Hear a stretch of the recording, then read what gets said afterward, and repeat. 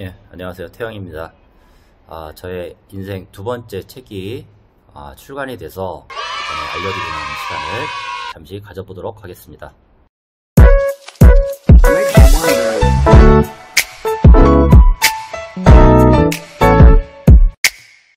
아, 이번에 그 인생 두 번째 책을 출간하게 돼서 어, 일단 좀 알려드리려고 어, 영상을 좀 찍고 있고요.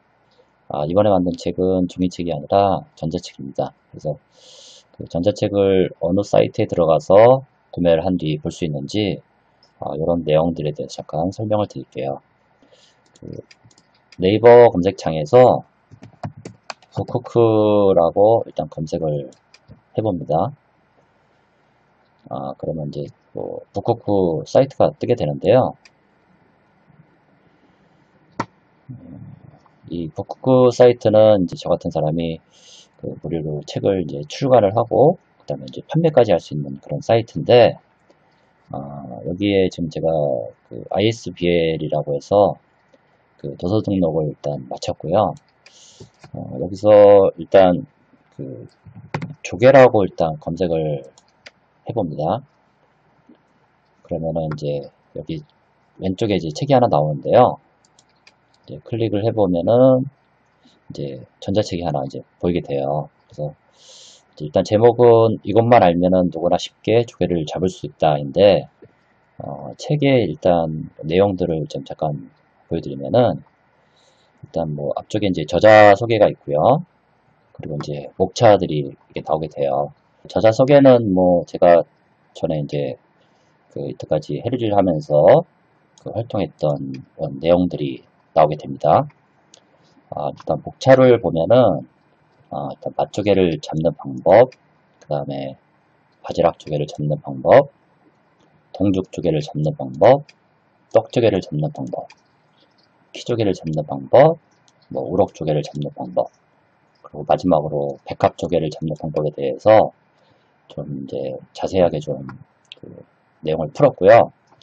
어, 마지막으로 이제 여러분들이 가장 그 궁금해하실 그 무료로 조개를 잡을 수 있는 그 장소들에 대해서 한 20가지 정도를 일단 이제 포인트 정보들을 일단 제가 만들어 놨는데 기존에 여러분이 알고 계시는 이제 포인트 말고도 제가 이제 개인적으로 다니면서 어, 조개잡이를 했던 그 무료 포인트들을 어, 여기다 이제 수록을 했어요. 그래서 그 조개잡이를 가려고 하는데 뭐 이제 그뭐 갯벌 체험장 같은 데 가서 조개잡이를 돈을 내고서 뭐 하는 것도 좋긴 하지만은 사실은 좀 그 누구의 터치를 안 받고서 그 쉽게 잡을 수 있는 이런 장소들이 더 중요하잖아요. 그래서 그런 장소 위주로 일단 좀 자세하게 좀 만들어 냈고요.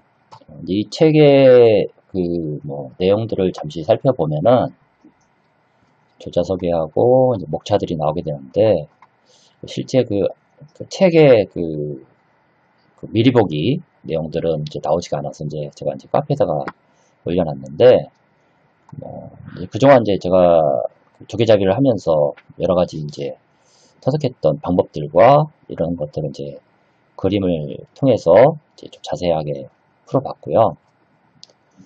그 다음에 뭐 이런 이제 조개 구멍들이 어떻게 생겼는지 뭐 이런 내용들도 좀 내용이 있습니다. 그리고 이제 많은 분들이 이제 궁금해하시는 이제 포인트 정보들은 지금 이제 보시는 것처럼 이렇게 이제 그림을 이용해서 어느 지형에다가 주차를 하고 여기는 어떤 조개들이 나오고 뭐 그다음에 어떻게 잡아야 되는지 이런 내용들에 대해서 이제 사파 형태로 해가지고 그림을 일단 편집을 했습니다.